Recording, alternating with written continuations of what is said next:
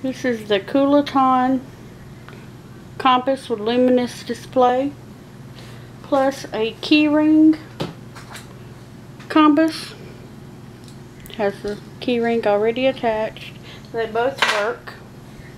You get both of them as a set on Amazon. It's made out of a metal material. It has a red light in it so you can use it at night. It has a magnifying glass on it so you can easier easier easily see what you're doing.